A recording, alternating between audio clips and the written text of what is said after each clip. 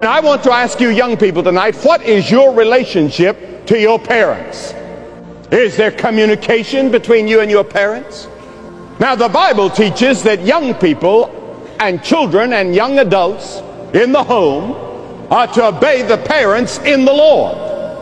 And even when you get older, you don't have to obey your parents after you have gone away from home and you're 21 or 22.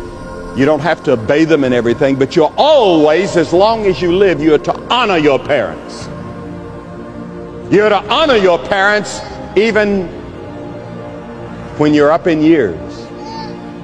And then when they get old, you're to take care of your parents. You don't hand them over to the state and get rid of them.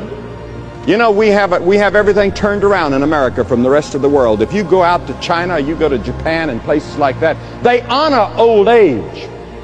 They look forward to the day when they can take care of their elderly parent.